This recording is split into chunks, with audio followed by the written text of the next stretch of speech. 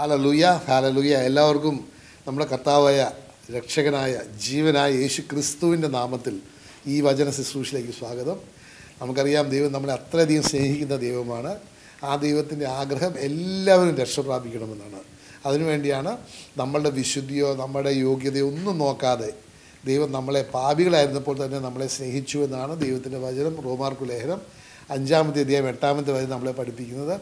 അങ്ങനെ ദൈവപുത്രൻ തന്നെ നമ്മുടെ മധ്യ വന്ന് നമ്മളെപ്പോലെ ജനിച്ച് ഒരു എന്നാ പറയുക ഒരു സാധാരണ വ്യക്തിയായിട്ട് ജീവിച്ച് ഹാലലിയ അവസാനം ദൈവത്തിന്റെ ഹിതം നമ്മുടെ രക്ഷ നമ്മുടെ നീതീകരണം പൂർത്തിയാക്കുവാൻ വേണ്ടി ഒരു കുരിശുമരണം അതും ഇത്ര എന്നാ പറയുക ക്രൂരമായ ഒരു കുരിശുമരണത്തിലൂടെ രക്തം ചിന്തി ജീവൻ അർപ്പിച്ച് കാൽവരി ആകുന്ന ആ ബലിയിൽ ഹാലലുയ ആ അൾത്താരയിൽ കുരിശ് ആ അൾത്താരയിൽ നമ്മൾക്ക് ഓരോരുത്തർക്കും വേണ്ടി മരിച്ച് നമ്മൾക്ക് പകരക്കാരനായി മരിച്ച് നമ്മളെ പാപത്തിന്റെ വേദനത്തിന്റെ മരണത്തിൽ നിന്ന് ഒഴിവാക്കി ആ മരണം യേശു സ്വന്തം ശരീരത്തിൽ ഏറ്റെടുത്തു പാപം ഏറ്റെടുത്തു. അതുകൊണ്ട് പാപത്തിന്റെ വേദന മരണം ഏറ്റെടുത്ത് നമ്മളെ ഓരോരുത്തരും രക്ഷിച്ച ആ യേശുവിന് നമ്മൾ എന്തുമാത്രം നന്ദി പറയണം. ആ ദൈവത്തിന്റെ സ്നേഹത്തെക്കുറിച്ചാണ് ഇന്ന് നമ്മൾ ദൈവത്തിന്റെ വചനത്തിൽ നമ്മൾ മനസ്സിലാക്കുന്നത്. നമ്മളെല്ലാവരും ഒരു മനുഷ്യനും വേറൊരു മനുഷ്യനെ പഠിപ്പിക്കാൻ പറ്റുകയില്ല. പക്ഷേ ദൈവത്തിന്റെ വചനം പറയുന്നുണ്ട് യോഹനാൻ ആറ് നാൽപ്പത്തഞ്ചിൽ എല്ലാവരും ദൈവത്തിന്റെ ആത്മാവിനാൽ പഠിപ്പിക്കപ്പെടും. അപ്പോൾ നമ്മൾ ദൈവത്തിന്റെ ആത്മാവിന് വിധേയപ്പെട്ട് നമ്മൾ ഒരു തുറവിയോടുകൂടി ആത്മാവിന് ഒരു തുറവിയോടുകൂടി ദൈവത്തിന്റെ വചനം കേൾക്കുകയാണെങ്കിൽ തീർച്ചയായിട്ടും പരിശുദ്ധാത്മാവ് നമുക്ക് ജ്ഞാനത്തിന്റെയും വെളിപാടിന്റെയും ആത്മാവിനെയൊക്കെ തന്ന് നമുക്ക് ദൈവത്തിന്റെ വചനം നമുക്ക് മനസ്സിലാക്കുവാനും ഗ്രഹിക്കുവാനും ആളുകൾ നമുക്കൊരു പരിജ്ഞാനം അതിനെക്കുറിച്ചുള്ള ഒരു പരിജ്ഞാനമൊക്കെ നമുക്ക് കിട്ടും. അമേ നമുക്കപ്പം ശ്രദ്ധാപൂർവം ദൈവത്തിന്റെ വചനം നമുക്ക് കേൾക്കാം. ഇത് ശ്രദ്ധിച്ച് ഈ ഒരു വിഷയം ശ്രദ്ധിച്ച് കേൾക്കേണ്ടതാണ്. കാരണം ദൈവത്തിന്റെ വചനം ഹെബ്രായക്ക് ലേഖനം നമ്മളിന്ന് ഹാലലൂയ നാലാമത്തെ അധ്യായം പതിനാല് പതിനഞ്ച് പതിനാറ് വചനങ്ങളൊന്നും നമുക്ക് വായിച്ച് മനസ്സിലാക്കാം. ആദ്യം നമുക്ക് പതിനാലാമത്തെ വചനം എടുക്കാം. ഇംഗ്ലീഷ് ഇങ്ങനെയാണ് പറയുന്നത്. Seeing then that we have a great high priest who has passed through the heavens, Jesus the Son of God, let us hold fast our confession. മലയാളത്തിൽ ഇങ്ങനെയാണ് പറയുന്നത് ഹീബ്രൂസ് പതിനാലാം നാല് പതിനാല് ഇങ്ങനെ പറയുന്നത് സ്വർഗത്തിലേക്ക് കടന്നുപോയ ശ്രേഷ്ഠനായ ഒരു പ്രധാന പുരോഹിതൻ ദൈവപുത്രനായ യേശു നമുക്കുള്ളതുകൊണ്ട് നമ്മുടെ വിശ്വാസത്തെ നമുക്ക് മുറുകെ പിടിക്കാം അമേൻ അപ്പം നമുക്കറിയാം നമ്മുടെ കർത്താവായ യേശു ഇന്ന് ആ കാൽവരി കുരിശിലല്ല കിടക്കുന്നത് ആ കല്ലറയുടെ അകത്തല്ല കിടക്കുന്നത്. പക്ഷേ ഇന്ന് ആരോപണം ചെയ്ത് സ്വർഗത്തിൽ പിതാവിന്റെ വലത്തുവശത്ത് സിംഹാസനത്തിൽ രാജാതി രാജനും കർത്താതി കർത്തനുമായിട്ട് ഉപവിഷ്ടനായിരിക്കുകയാണ്. ആ യേശു ഇന്ന് ചെയ്യുന്നതൊക്കെ നമ്മൾ ഹെബ്രായ ലേനം ഏഴ് ഇരുപത്തഞ്ച് വായിക്കുമ്പോൾ നമ്മൾക്ക് വേണ്ടി മധ്യസ്ഥം വഹിക്കുക. നമ്മളുടെ ഓരോ പ്രശ്നങ്ങളും ബുദ്ധിമുട്ടുകളും ഒക്കെ അറിയാവുന്ന ദൈവം. നമ്മൾ കരഞ്ഞ് അപേക്ഷിക്കുന്നതിന് മുമ്പ് തന്നെ ആ ദൈവം അവിടെ ഇടപെട്ടിട്ട് നമുക്കുള്ളൊരു വിടുതലിന് അനുഗ്രഹത്തിനുള്ള വഴി ഒരുക്കുന്ന ദൈവം നമ്മുടെ ഏക മധ്യസ്ഥനായിരിക്കണം. അല്ലാതെ നമ്മൾ ഒരു പുണ്യാളന്റെ അടുത്തല്ല പോകേണ്ടത്. ഒരു വ്യക്തിയുടെ അടുത്തല്ല നമ്മൾ പോകേണ്ടത് പക്ഷെ നമ്മൾ പോകേണ്ടത് നമ്മുടെ മധ്യസ്ഥനായ നമ്മുടെ രക്ഷകനും നാഥനും കർത്താവും ജീവനും എല്ലാം എല്ലാം എല്ലാം ആകുന്ന യേശു ക്രിസ്തുവിലേക്കായിരിക്കണം നമ്മൾ പോകേണ്ടത്. അതുകൊണ്ട് പറയുന്നത് സ്വർഗത്തിലേക്ക് കടന്നുപോയ ശ്രേഷ്ഠനായ ഒരു പുരോഹിതൻ. അപ്പോൾ നമുക്കറിയാം യേശു ക്രിസ്തു ഈ ലോകത്ത് ജീവിച്ചിരുന്നപ്പോൾ ദൈവപുത്രനാണ് മനുഷ്യപുത്രനുമാണ്. യേശു ക്രിസ്തു മരിച്ചു അടക്കപ്പെട്ടു. എന്നിട്ട് ദൈവത്തിന്റെ വചനം പറയുന്നത് മൂന്നാം ദിവസം വചനം പറഞ്ഞതുപോലെ സുവിശേഷം സുവിശേഷത്തിലുള്ളതുപോലെ തന്നെ ഉയർത്തെഴുന്നേറ്റു. എന്നിട്ട് സ്വർഗാരോഹണം ചെയ്ത് ഇന്നിപ്പം ദൈവത്തിന്റെ സന്നിധിയിലാണ്. അതുകൊണ്ടാണ് പറയുന്നത് സ്വർഗത്തിലേക്ക് കടന്നുപോയ ശ്രേഷ്ഠനായ ഒരു പുരോഹിതൻ ദൈവപുത്രനായ യേശു തന്നെ. ദാറ്റ് ഇസ് ആ യേശുവാണ് നമ്മുടെ പ്രധാന പുരോഹിതൻ. നമുക്കുള്ളതുകൊണ്ട് നമ്മുടെ വിശ്വാസത്തെ നമുക്ക് മുറുകെ പിടിക്കാം. അപ്പം നമുക്കറിയാം ദൈവത്തിന്റെ വചനം വളരെ വ്യക്തമായിട്ട് പറയുന്നുണ്ട്. യോഹനാന്റെ സുവിശേഷം പതിനാലാമത്തെ അധ്യായം മൂന്നാമത്തെ വചനത്തിൽ ഞാൻ ഒരു ദിവസം തിരികെ വരുന്നുണ്ട്. നിങ്ങൾക്ക് അനേക മാളികകൾ ദൈവം പണിതിട്ടുണ്ട് ഒരുക്കിയിട്ടുണ്ട്. അതെല്ലാം നിങ്ങൾക്കുള്ളതാണ്. ഞാൻ ഒരു ദിവസം തിരികെ വന്ന് ഞാനായിരിക്കുന്നിടത്ത് നിങ്ങളുമായിരിക്കുക. ഞാൻ തിരികെ വന്ന് നിങ്ങളെ എന്റെ കൂടെ കൂട്ടിക്കൊണ്ടുപോകും. അപ്പോൾ അങ്ങനെ യേശുക്രിസ്തു ഇന്ന് സ്വർഗത്തിലാണ് പിതാവിന്റെ സന്നദ്ധിയിലാണ് ഉയർത്തെഴുന്നേറ്റിരിക്കുകയാണ്. ഇന്ന് ദൈവം നമ്മോടുകൂടെ എന്ന് പറയുന്ന ഇമാനുവൽ പരിശുദ്ധാത്മാവാണ്. പരിശുദ്ധാത്മാവ് എന്ന് പറയുന്നത് യേശുവിന്റെ ആത്മാവാണ്. യേശുവിന്റെ ആത്മാവാണ് ഇന്ന് നമ്മുടെ മധ്യ നമ്മുടെ കൂടെ ഉള്ളത്. അതുകൊണ്ടാണ് യോഹനാന്റെ സുവിശേഷത്തിൽ പിന്നെയും പറയുന്നുണ്ട് ഞാൻ പിതാവിനോട് പ്രാർത്ഥിക്കും. പിതാവ് നമുക്ക് പരിശുദ്ധാത്മാവിനെ തരും. ആ പരിശുദ്ധാത്മ നമ്മളോട് എന്നേക്കും വസിക്കുമെന്നാണ് പറയുന്നത്. I will pray the Father and he will give you the Holy Spirit who will abide with you forever amen നമ്മുടെ ജീവിതകാലം മുഴുവൻ നമ്മുടെ സഹായകനും നമ്മുടെ എല്ലാം എല്ലാമായിട്ട് ഹാൽ പഠിപ്പിക്കുവാനും നമ്മളെ ഉപദേശിക്കുവാനും നമ്മളെ നയിക്കുവാനും നമ്മുടെ എല്ലാം എല്ലാമായിട്ട് പരിശുദ്ധാത്മാവ്. അപ്പോൾ ഇന്ന് നമ്മൾ മനസ്സിലാക്കണം ആ പരിശുദ്ധാത്മാവുമായിട്ട് എനിക്ക് വലിയൊരു സ്നേഹബന്ധമുണ്ടാകണം. അല്ലാതെ പരിശുദ്ധാത്മാവ് എനിക്കൊന്നും ഗ്രഹിക്കാൻ പറ്റാത്തതാണ്. തീർച്ചയായിട്ടും ആ ബന്ധമില്ലെങ്കിൽ ഒരിക്കലും അനുഗ്രഹങ്ങൾ പ്രാപിക്കാൻ പറ്റുകയില്ല. അതുകൊണ്ടാണ് പരിശുദ്ധാത്മാവിനെ കുറിച്ചുള്ള ജ്ഞാനവും വെളിപാടും ഇല്ലാത്തതുകൊണ്ടും ആ പരിശുദ്ധാത്മാവ് ദൈവം എന്തിനാണ് നമ്മൾക്ക് തന്നിരിക്കുന്നതെന്നതിനെ കുറിച്ച് ഗ്രഹിക്കാൻ പറ്റാത്തതുകൊണ്ടാണ് ഇന്ന് ദൈവത്തെ അന്വേഷിക്കുന്നതിന് പകരം ദൈവത്തിലേക്ക് നമ്മുടെ ആവശ്യങ്ങൾ നമ്മൾ പറയുന്നതിന് പകരം നമ്മൾ പുണ്യാളന്മാരുടെ പുറകെ പോകുന്നത്. അയ്യുദ്ധി അപ്പോൾ ദൈവം നമ്മോട് കൂടെ എന്ന് പറയുന്ന ഇമാനുവൽ ആകുന്ന പരിശുദ്ധാത്മാവ് ഇന്ന് നമ്മുടെ കൂടെ ഉള്ളതുകൊണ്ട് നമ്മൾ വേറെ പുണ്യാളന്മാരുടെ പുറകെ അല്ല പോകേണ്ടത്. അതിനുപരി നമ്മൾ ദൈവത്തിന്റെ പുറകെയാണ് പോകേണ്ടത്. ദൈവത്തെ മാത്രമാണ് നമ്മൾ മുന്നിൽ കാണേണ്ടത്. ആ ദൈവം ഇന്ന് നമ്മുടെ മധ്യേ ഉള്ളത് പരിശുദ്ധാത്മാവ് വഴിയാണ്. അതുകൊണ്ടാണ് യേശു പിന്നെയും പറയുന്നുണ്ട് ഞാൻ പോയിട്ടില്ലെങ്കിൽ എനിക്ക് പരിശുദ്ധാത്മാവിനെ അയക്കാൻ പറ്റുകയില്ല. പക്ഷേ ഞാൻ പോയിട്ട് ഞാൻ എന്റെ ആത്മാവിനെ അയക്കും. ആ ആത്മാവ് നിങ്ങളോടുകൂടെ നിത്യത നിത്യത വരെ ഉണ്ടാവും. അതാ പറഞ്ഞ് മത്തയുടെ സുവിശേഷം വളരെ വ്യക്തമായി ഇരുപത്തെട്ടാമത്തെ അധ്യായത്തിൽ പറയുന്നുണ്ട് ഞാൻ നിങ്ങളോട് യുഗാന്തം വരെ I will be with you under the end of the age എന്ന് പറഞ്ഞാൽ പരിശുദ്ധാത്മ നമ്മുടെ കൂടെ ഉണ്ടാകും. അതുകൊണ്ട് ആ പരിശുദ്ധാത്മാവുമായിട്ട് നമുക്കൊരു ബന്ധമുണ്ടെങ്കിൽ തീർച്ചയായിട്ടും നമുക്ക് ധൈര്യത്തോടുകൂടി വിശ്വാസത്തോടുകൂടി ദൈവത്തിന്റെ സമീപത്ത് വരാം. ആ പ്രത്യാശ ഇങ്ങനത്തെ പ്രത്യാശകളാണ് നമ്മൾ മനസ്സിലാക്കേണ്ടത്. ഹാലലൂയ. ആ വിശ്വാസം ഉണ്ടെങ്കിൽ മാത്രമേ നമുക്ക് ദൈവത്തെ സമീപിക്കുവാൻ പറ്റുകയുള്ളൂ. Hallelujah hallelujah. അപ്പോൾ ഈ ലോകത്തിൽ നമ്മൾക്ക് നമ്മുടെ സഹായകനും നമ്മുടെ ദൈവം നമുക്ക് വാഗ്ദാനം ചെയ്തതൊക്കെ പരിശുദ്ധാത്മാവിന് പല പല ദൗത്യങ്ങളുണ്ട്. നമ്മൾ റോമാർ യോഹനാന്റെ സുവിശേഷം പതിനാലാമത്തെ അധ്യായം ഇരുപത്തിയാറാമത്തെ വചനം വായിക്കുമ്പോൾ അവിടെ പറയുന്നുണ്ട് അല്ലേ? പരിശുദ്ധാത്മാവ് വരും. നമ്മൾ വരുമ്പോൾ നമ്മൾ ദൈവത്തെ സ്നേഹിക്കുകയാണെങ്കിൽ പരിശുദ്ധാത്മാവ് വരും നമ്മളെ പഠിപ്പിക്കുകയും നമ്മളെ ദൈവം നമുക്ക് തന്നിരിക്കുന്ന ഓരോ ഉടമ്പടിയും നമ്മളെ അനുസ്മരിപ്പിക്കും. വാഗ്ദാനങ്ങൾ അനുസ്മരിപ്പിക്കും എന്നാണ് പറയുന്നത്. പിന്നെയും അടുത്ത വചനം പറയുന്നുണ്ട്. പതിനഞ്ചാമത്തെ. ഹീബ്രൂസ് നാല് പതിനഞ്ച് ഇങ്ങനെ പറയുന്നത് for we do not have a high priest who cannot sympathise with our weakness but was in all points tempted as we are yet without sin അപ്പോൾ വളരെ അപ്പോൾ രണ്ട് തരത്തിലുള്ള പുരോഹിതന്മാരെ കുറിച്ച് പറയുന്നുണ്ട്.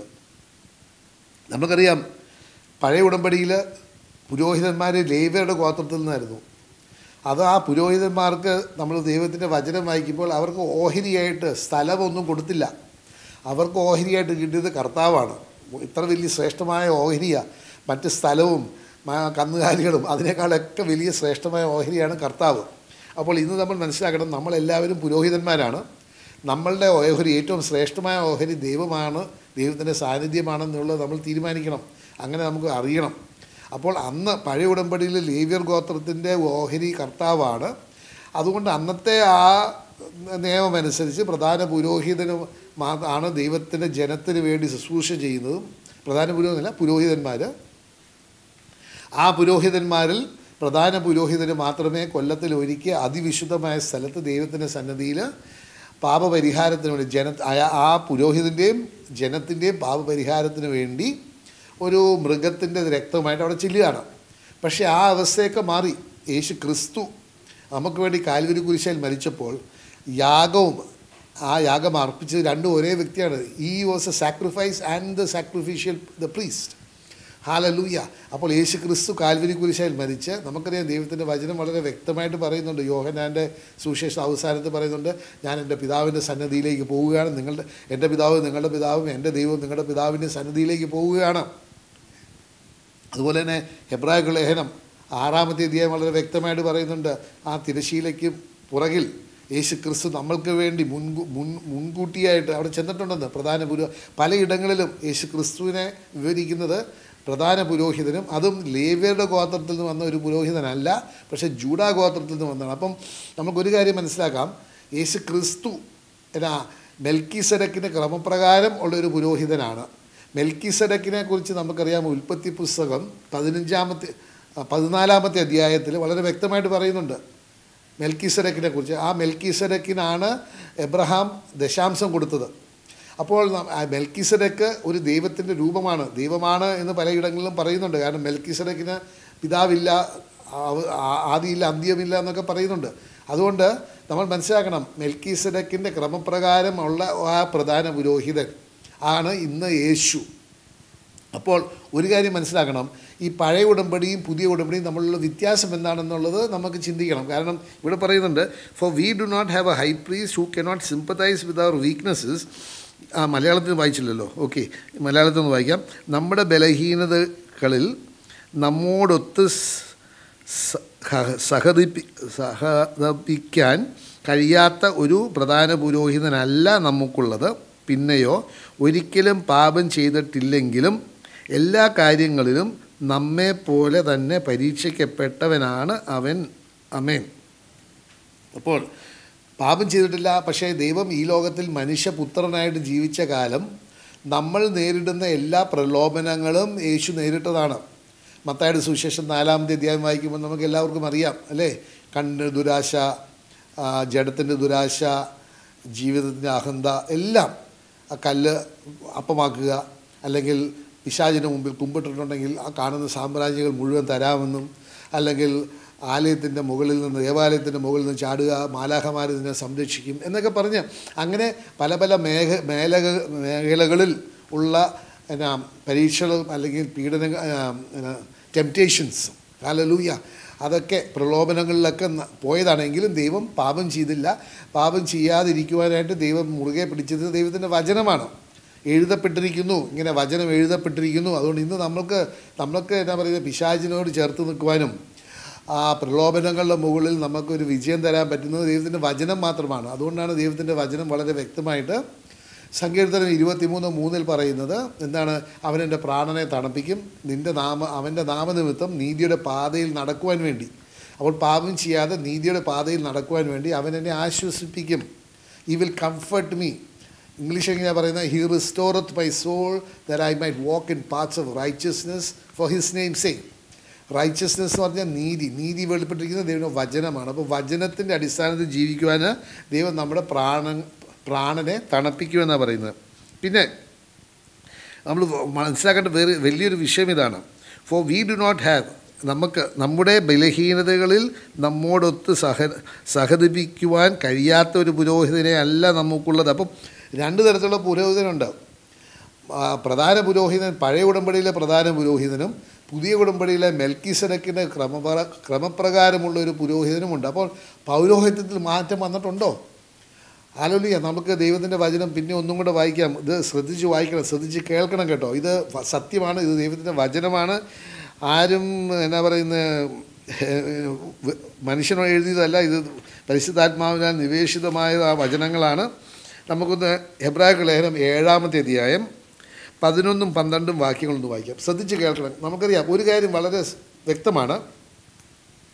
ഇന്നിപ്പോൾ നമ്മൾ കാണുന്ന പുരോഹിതൻ എന്ന് പറയുന്ന ലോഹയൊക്കെ ഇട്ട് ഉള്ള പുരോഹിതൻ അല്ലെങ്കിൽ അവരുടെ ആരാധന ക്രമങ്ങൾ നോക്കുകയാണെങ്കിൽ പ്രത്യേകിച്ച് ഇപ്പോൾ കത്തോലിക്ക സഭയിലൊക്കെ ആരാധന ക്രമങ്ങൾ നോക്കുകയാണെങ്കിൽ അത് തീർച്ചയായിട്ടും ഒരു പഴയ കാരണം പഴയ ഉടമ്പടിയിലെ പുരോഹിതന്മാരുടെ വേഷത്തെക്കുറിച്ച് പറയുന്നുണ്ട് പുരോഹിതന്മാരുടെ എന്താ പറയുന്നത് ആരാധന ചട്ടത്തെക്കുറിച്ചൊക്കെ പറയുന്നുണ്ട് ആരാധന നടത്തുമ്പോൾ എന്തൊക്കെ സാധനങ്ങൾ വേണമെന്നൊക്കെ പറയുന്നുണ്ട്. അത് അന്നത്തെ നിയമമായിരുന്നു ദൈവത്തിന്റെ. പക്ഷേ നമ്മൾ മനസ്സിലാക്കണം ആ പൗരോഹിത്യം മാറിയപ്പോൾ ആ വ്യവസ്ഥകളൊക്കെ മാറുകയാണ്. കാരണം ദൈവത്തിന്റെ വചനം വളരെ വ്യക്തമായിട്ട് നമ്മളോട് പറയുന്നുണ്ട്. വെളിപാട് പുസ്തകം ഒന്നാമത്തെ അധ്യായത്തിൽ വളരെ വ്യക്തമായിട്ട് യേശു ക്രിസ്തു കാൽവരി കുരിശയിൽ മരിച്ചതിന്റെ അടിസ്ഥാനത്തിൽ നമ്മളുടെ അവസ്ഥ തന്നെ മാറുകയാണ്. ദൈവം നമ്മളെ പുരോഹിതന്മാരാക്കുകയാണ്. ആ സത്യം നമ്മൾ മനസ്സിലാക്കണം. കാരണം യേശുവിന്റെ ആ കുരിശു മരണം വഴിയാണ് നമുക്കെല്ലാവർക്കും ആ ദൈവത്തിൽ നിന്ന് ഒരു പാപത്തിൽ നിന്ന് ഒരു പാപം പാപത്തിൽ നിന്ന് ഒരു നീതീകരണവും അതുവഴി ദൈവം നമ്മളുടെ അവസ്ഥ തന്നെ മാറ്റിയിരിക്കുകയാണ്. ഹാലലുയ വെളിപാട് ദിവസം ഒന്നാമത്തെ അധ്യായം ആറാമത്തെ വചനം നമ്മൾ വായിക്കുകയാണെങ്കിൽ ഇങ്ങനെയാണ് പറയുന്നത്. നമ്മെ സ്നേഹിക്കുകയും സ്വന്തം രക്തത്താൽ നമ്മെ പാപത്തിൽ നിന്ന് മോചിപ്പിക്കുകയും സ്വപിതാവായ ദൈവത്തിന്റെ രാജ്യവും പുരോ പുരോഹിതരും ആക്കുകയും ചെയ്തുവെന്ന് മഹത്വവും ചെയ്- ചെയ്തവന് മഹത്വവും പ്രതാപവും എന്നേക്കും ഉണ്ടായിരിക്കട്ടെ. ഒന്നുകൂടെ വായിക്കാം. നമ്മെ സ്നേഹിക്കുകയും സ്വന്തം രക്തത്താൽ നമ്മെ പാപത്തിൽ നിന്ന് മോചിപ്പിക്കുകയും സ്വപിതാവായ ദൈവത്തിന്റെ രാജ്യവും പുരോഹിതരും ആക്കുകയും ചെയ്യു ചെയ്തവന് മഹത്വവും പ്രതാപവും എന്നേക്കും ഉണ്ടായിരിക്കും അപ്പം നമ്മളെ പാപത്തിൽ നിന്ന് മോചിപ്പിച്ചു രക്തം ചിന്തി നമ്മളെ നീതീകരിച്ച് പാപത്തിൽ നിന്ന് മോചിപ്പിച്ച് ദൈവത്തിന്റെ ഒരു രാജ്യം നമുക്ക് തന്നിരിക്കുക അവിടെ പുരോഹിതനും രാജാവുമായിട്ട് വാഴാൻ വേണ്ടിയാണ്. അപ്പോൾ യേശുക്രിസ്തു കാൽവരി കുരിശയിൽ മരിച്ചപ്പോൾ ഒരു പൗരോഹിത്യത്തിനൊരു മാറ്റം വന്നു കഴിഞ്ഞു. ഇന്ന് പുരോഹിതൻ എന്ന് പറയുന്നത് പഴയ ഉടമ്പടിയുടെ പുരോഹിതനല്ല പുതിയ ഉടമ്പടിയുടെയാണ്. അതിനെക്കുറിച്ചാണ് ദൈവത്തിന്റെ വചനം വളരെ വ്യക്തമായിട്ട് യോഹ ഹെബ്രാക്കുള്ള ഏഴാമത്തെ അധ്യായം പതിനൊന്നും പന്ത്രണ്ടും വചനങ്ങൾ വായിക്കുമ്പോൾ ഇങ്ങനെയാണ് പറയുന്നത്. ലേവർ പൗരോഹിത്യം വഴി ആണല്ലോ ജനങ്ങൾക്ക് നിയമം നൽകപ്പെട്ടത്. ആ പൗരോഹിത്യം വഴി പൂർണത പ്രാപിക്കാൻ കഴിയുമായിരുന്നുവെങ്കിൽ അഹ്റോന്റെ ക്രമത്തിൽ നിന്ന് വ്യത്യസ്തമായ മെൽക്കീസെഡക്കിന്റെ ക്രമപ്രകാരം വേറെ പുരോഹിതൻ ഉണ്ടാവുക ആവശ്യമായിരുന്നുവോ? ക്വസ്റ്റ്യൻ മാർക്ക് പൗരോഹിത്യത്തിൽ വ്യത്യാസം വരുമ്പോൾ നിയമത്തിലും ആവശ്യം മാറ്റം വരുന്നു. നിയമത്തിലുള്ള ആവശ്യം. അപ്പം ഇംഗ്ലീഷിൽ വളരെ വ്യക്തമായിട്ട് പറയുന്ന ഒരു കാര്യമാണ്. ഹാലലൂയ അവിടെ വളരെ വ്യക്തമായിട്ട് ഒരു സംശയരഹിതമായ രീതിയിൽ പറയുന്ന ഒരു സത്യം ഇതുണ്ട്. അതുകൊണ്ട് പലരും പറയുന്നുണ്ട് ചിലപ്പോൾ ഇത് ഇങ്ങനെ ഈ സത്യം വചനത്തിലുള്ളതുകൊണ്ട് ചിലപ്പോൾ ഈ പുരോഹിതന്മാർ ഈ ഹെബ്രായകളുടെ ലേഖനം തന്നെ ബൈബിളിൽ നിന്ന് ചിലപ്പോൾ എടുത്ത് മാറ്റാൻ സാധ്യതയുണ്ടെന്ന്. ഹാലലൂയ്യ. അതൊരിക്കലും സംഭവിക്കട്ടെ? സംഭവിക്കുകയില്ല എന്ന് നമുക്കറിയാം. ഹല ഒരു കാരണം മനുഷ്യരൊന്നും കൂട്ടിച്ചേർക്കാനോ കുറയ്ക്കുവാനോ പറ്റുകയില്ല എന്ന് നമുക്കറിയാം. ഹാലലൂയ അപ്പോൾ ഹെബ്രായകളുടെ ലേഖനം നമ്മൾ വായിക്കുമ്പോൾ അവിടെ പറയുന്നുണ്ട്. ഹാലലൂയ ഹാലലൂയ പതിനൊന്ന് പന്ത്രണ്ട് ഇങ്ങനെയാണ് പറയുന്നത്. Hebrews seven eleven and twelve ശ്രദ്ധിച്ച് കേൾക്കണം the for if perfection were through the Levitical priesthood for under it the people receive the law what further need was there that another priest should rise according to the order of Melchizedek and not be called according to the order of Aaron. For the priesthood being changed, priesthood being changed, amen, of necessity, there is also a change of the law. അപ്പോൾ പൗരോഹിത്യം മാറിയെന്നാണ് പറയുന്നത്. ഈ സത്യം നിങ്ങൾ മനസ്സിലാക്കണം. പിന്നെ എന്തുകൊണ്ടാണ് ഇന്ന് പുരോഹിതന്മാർ പഴയ ഉടമ്പടിയിലെ പുരോഹിതന്മാരാണ് നമ്മൾ ഇവിടെ കാണുന്നത്. പഴയ ഉടമ്പടിയിലെ ആരാധനക്രമങ്ങളാണ് ഇപ്പോഴും കാണുന്നത്. അതുകൊണ്ട് നമ്മൾ മനസ്സിലാക്കണം. ദൈവത്തിന്റെ വചനം അനുസരിച്ചല്ല ഈ പുരോഹിതന്മാർ ഇന്ന് അവരുടെ ശുശ്രൂഷകൾ ചെയ്യുന്നത്. ഇത് സത്യമാണ് കേട്ടോ. കാരണം ഇന്ന് ദൈവത്തിന്റെ ദൃഷ്ടിയിൽ പുരോഹിതൻ എന്ന് പറയുന്നത് നീ ഞാനുമാണ് പുരോഹിതന്മാർ ഹലലൂയ നമ്മൾ പുരോഹിതനായിട്ട് ദൈവത്തിന് ശുശ്രൂഷ ചെയ്യുവാനും രാജാക്കന്മാരായിട്ട് ദൈവരാജ്യത്തിന്റെ ക്ഷേമത്തിന് വേണ്ടി ഈ ലോകത്തിൽ ഭരിക്കുവാനും അധികാരം സ്വർഗീയ അധികാരം കൊണ്ട് ജീവിക്കുവാനും ഭരിക്കുവാനും വേണ്ടിയാണ് നമ്മൾ ദൈവത്തിന്റെ സ്ഥാനപതികളാണ്. നമ്മൾ പുരോഹിതനാണ്. അതെ എന്നാ എന്നാ പറയുന്നത് ജെൻഡർ നോക്കാതെ സ്ത്രീയോ പുരുഷനോ നോക്കാതെ എല്ലാവരും ദൈവത്തിന്റെ മക്കളാണ്.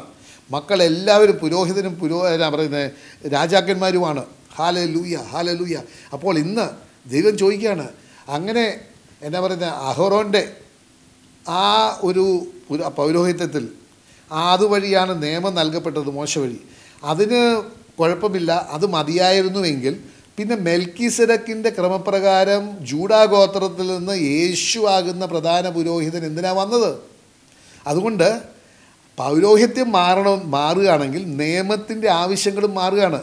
അപ്പോൾ ഇന്ന് നമുക്ക് ആരാധിക്കുമ്പോൾ വടിയോ തൊപ്പിയോ കൊടയോ തിരിയോ കുന്തിരികമോ അല്ലെങ്കിൽ എന്നാ പറയുന്നത് ഒരു ഡ്രാമയുടെ ആവശ്യമില്ല. ആ യുദ്ധി പഴയ ഉടമ്പടിയിൽ അതായിരുന്നു. അത് അഹോറോന്റെ പുരോഹിതമായിരുന്നു. പക്ഷേ ഇന്ന് പുതിയ ഉടമ്പടിയിലെ മെൽക്കീസരക്കിന്റെ ക്രമപ്രകാരമാണ്. ഇതാണ് യേശു വളരെ വ്യക്തമായിട്ട് ആ സമാരിയ സ്ത്രീയോട് പറയുന്നത്. നമുക്ക് എല്ലാവർക്കും അറിയാം യോഹന്നാന്റെ സുവിശേഷം നാലാമത്തെ അധ്യായം. പത്തൊമ്പത് ഇരുപതൊക്കെ ആ വചനങ്ങളൊക്കെ വായിക്കുമ്പോൾ യേശു ആ സമാരിയ പറയുകയാണ് ഞങ്ങൾ ആരാധിക്കുന്നത് ഞങ്ങൾക്ക് അറിയുന്ന ദൈവത്തെയാണ്. നിങ്ങൾ ആരാധിക്കുന്നത് നിങ്ങൾക്ക് അറിഞ്ഞുകൂടാ? ആരാന്ന് അപ്പോൾ ഒരു ബന്ധമില്ല. അപ്പോൾ ഞങ്ങൾ ആരാധിക്കുന്നത് എവിടെയാണ് നിത്യജീവനിലുള്ള ദൈവത്തെയാണ്. കാരണം നമുക്കറിയാം ദൈവത്തെ അറിയുക നിത്യജീവനിലേക്ക് പ്രവേശിക്കുകയാണ്. നിത്യജീവനാണ് ദൈവത്തെ അറിയുന്നത്. യോഹനാൻ പതിനേഴ് മൂന്ന് പറയുന്നുണ്ട് നിത്യജീവൻ എന്നത് ഏകസത്യ ദൈവത്തെയും അവൻ അയച്ചവരെയും അറിയുക. അപ്പം നിത്യജീവനിൽ ഉള്ളവരാണ് ഞങ്ങൾ. കാരണം നമ്മൾക്ക് ആരാധിക്കുന്ന ദൈവമായിട്ട് ഒരു ബന്ധമുണ്ട്. ആ ദൈവത്തെ ഞങ്ങൾക്കറിയാം. പിന്നെയും പറയുന്നുണ്ട് യേശു ആ സമാരിയ നിങ്ങൾ ഇനി ആരാധിക്കുന്നത് ജെറൂസലേമിലായിരിക്കുകയില്ല അപ്പോൾ യെറൂസലേമിലാണ് ആലയമുള്ളത് അല്ലേ? സോളമൻ പണിത ആലയം. ആ യെറൂസലേമിൽ ആ അതിവിശുദ്ധമായ ആലയത്തിൽ അതിവിശുദ്ധമായ സ്ഥലത്ത് ദൈവത്തിന്റെ സാന്നിധ്യം ആ പെട്ടകത്തിലുണ്ട്. അവിടെയായിരുന്നു പ്രധാന പുരോഹിതൻ കൊല്ലത്തിലൊരിക്കൽ പോകുന്നതൊക്കെ.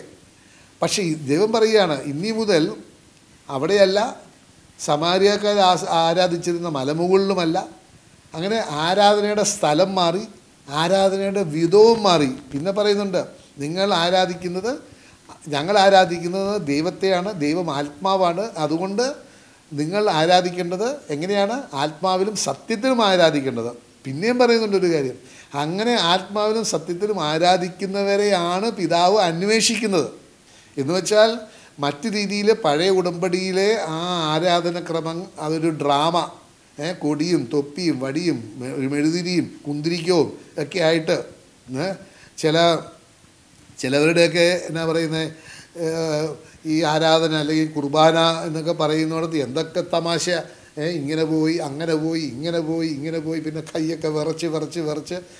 ഒരു ഡ്രാമയത് ഹൈ വിത്ത് മീ ഹാലലൂയ അതൊന്നുമല്ല. ദൈവം പറയുന്നത് ദൈവം ആത്മാവാണ്. അതുകൊണ്ട് നീ ആരാധിക്കുന്നത് ആത്മാവിലും സത്യത്തിലുമാണ്. അപ്പോൾ ദൈവമായിട്ട് എനിക്ക് നിനക്കൊരു ബന്ധമുണ്ടാകണമെന്നുണ്ടെങ്കിൽ നീ ആത്മാവിലും സത്യത്തിലും ആരാധിക്കണം. അപ്പോൾ പൗരോഹിത്യം മാറി ആരാധിക്കുന്ന സ്ഥലം മാറി പിന്നെ ആരാധന ക്രമങ്ങൾ മാറി ഇതൊക്കെ നമ്മൾ മനസ്സിലാക്കണം. ഹാലലുയ്യ അതുകൊണ്ടാണ് സഹോദര നമ്മൾ മനസ്സ് ദൈവത്തിന്റെ ഇന്ന് ഒരു കബളിപ്പിലാണ്. നിനക്ക് പുതിയ ഉടമ്പടിയെക്കുറിച്ച് നിനക്ക് ഗ്രഹിക്കാൻ പറ്റുന്നില്ലെങ്കിൽ എന്താണ് യഥാർത്ഥത്തിൽ ചെയ്യുന്നത്? കാൽവിരി കുരിശ് ദൈവം പറയുന്നുണ്ട് വളരെ വ്യക്തമായിട്ട് ഈ പുതിയ ഉടമ്പടി സ്ഥാപിച്ചതിന്റെ രക്തത്താലാണ് അല്ലേ? This is the blood of the new covenant എന്നാണ് പറയുന്നത്. ഇത് പുതിയ ഉടമ്പടിയുടെ രക്തമാണ്. രക്തത്താൽ സ്ഥാപിച്ച ഉടമ്പടിയാണ് പുതിയത്. അപ്പോൾ പുതിയ ഉടമ്പടിയിലെ എല്ലാ കാര്യങ്ങളും അതിനോട് കൂടെ ആരാധന ക്രമങ്ങളും അതിനോടുകൂടി പൗരോഹിത്യവും ഒക്കെ നമ്മൾ സ്വീകരിച്ച് അതനുസരിച്ച് നമ്മുടെ ജീവിതം നമ്മുടെ ആരാധനക്രമങ്ങളൊക്കെ ആരാധന ക്രമങ്ങളൊക്കെ നമ്മൾ ക്രമീകരിച്ചിട്ടില്ലെങ്കിൽ യഥാർത്ഥത്തിൽ നമ്മൾ പുതിയ ഉടമ്പടിയെ നിഷേധിക്കുകയാണ്. ഞങ്ങൾക്ക് പഴയത് മതി. അത് പഴയത് മതി എന്ന് പറയുന്നത് പോലെ നമുക്കറിയാമല്ലോ പുതിയ വീഞ്ഞും പഴയ വീഞ്ഞിനെ കുറിച്ച് പറയുന്നത് അല്ലേ? പുതിയ വീഞ്ഞ് പഴയ തോലൊറയിലിട്ടാൽ അത് പൊട്ടും. അപ്പോൾ പുതിയ വീഞ്ഞ് ഉൾക്കൊള്ളണമെന്നുണ്ടെങ്കിൽ പുതിയ തോലറ വേണം. പുതിയ തോലറ എന്ന് പറഞ്ഞാൽ മനുഷ്യൻ വീണ്ടും ജനിക്കണം. മരിച്ച ഒരു മൃഗത്തെ കൊന്നാൽ മാത്രമേ തോലറ കിട്ടുകയുള്ളൂ. അപ്പോൾ പുതിയ വീഞ്ഞ് നമുക്ക് ഉൾക്കൊള്ളണമെന്നുണ്ടെങ്കിൽ നമ്മൾ പഴയ വീഞ്ഞ് കളഞ്ഞ് പഴയ തോലറ ഇല്ലാതെ നമ്മൾ ഒരിക്കൽ കൂടെ ദൈവത്തിന് വേണ്ടി നമ്മൾ മരിച്ച് വീണ്ടും ജനിച്ച് ഒരു പുതിയ തോലറയായാൽ മാത്രമേ പുതിയ വീഞ്ഞാകുന്ന ദൈവത്തിന്റെ പുതിയ ഉടമ്പടിയിലെ വചനങ്ങളും എല്ലാം നമുക്ക് സ്വീകരിക്കാൻ പറ്റുകയുള്ളൂ. അതുകൊണ്ടാണ് നമ്മൾ മനസ്സിലാക്കണം നമ്മൾ പുതിയ ഉടമ്പടിയുടെ ക്രമപ്രകാരം നമ്മളുടെ ആരാധനയൊക്കെ നമ്മൾ ക്രമീകരിച്ചിട്ടില്ലെങ്കിൽ അത് നിഷേധിക്കുകയാണ്. നിഷേധിക്കുകയാണെങ്കിൽ കാൽവരി കുരിശയിലുള്ള യേശുവിനെ ആ മരണത്തെ തന്നെ നിഷേധിക്കുകയാണ്. അതുകൊണ്ടാണ് ഹെബ്രായ ലേഖനം പത്താമത്തെ അധ്യായം ഇരുപത്തൊമ്പതാമത്തെ വചനത്തിൽ പറയുന്നത് പോലെ ദൈവപുത്രനെ നമ്മൾ കാലിന്റെ മീലെ വെച്ച് മെതിക്കുകയാണ്. ആ നമ്മളെ രക്ഷിച്ച ആ യേശുവിന്റെ രക്തം ഒരു ആ കാണുകയാണ് അവഗണിക്കുകയാണ്. അതുപോലെ തന്നെ അതെ നിസ്സാരമായിട്ട് കണക്കാക്കുകയാണ്. അതുപോലെ തന്നെ കൃപയുടെ ആത്മാവിനെ അവഗണിക്കുകയാണ്. അപ്പോൾ അങ്ങനെ പുതിയ ഉടമ്പടി ഇല്ലാത്തവർക്ക് ദൈവം വാഗ്ദാനം ചെയ്തിട്ടുണ്ട്. വലിയ ശിക്ഷ കിട്ടുന്നുണ്ട്. അപ്പോൾ സഹോദരൻ ഇന്ന് നമ്മൾ മനസ്സിലാക്കണം പുരോഹിതൻ ആരാണ്? നമ്മുടെ മധ്യേ ലോഹയൊക്കെ ഇട്ട് നടക്കുന്നവൻ ആ- ആളല്ല പുരോഹിതൻ.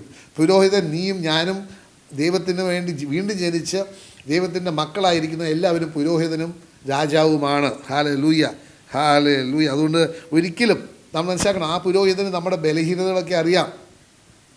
ഹാലലൂയ. ആ പുരോഹിതന് നമ്മളുടെ ബലഹീനതകൾ അറിയാവുന്നത് കൊണ്ട് ആ പുരോഹിതൻ നമ്മൾക്ക് പാപത്തിൽ വീഴാതിരിക്കുവാനും കാരണം യേശു ക്രിസ്തു ഒന്ന് യോഹനാൻ മൂന്ന് എട്ടിൽ പറയുന്നുണ്ട് പിശാചിന്റെ പ്രവൃത്തികളെ നശിപ്പിച്ചു. ആര്? ദൈവപുത്രൻ പ്രത്യക്ഷപ്പെട്ടത് ആ ഒറ്റ നിയോഗത്തിന് വേണ്ടിയാണ്.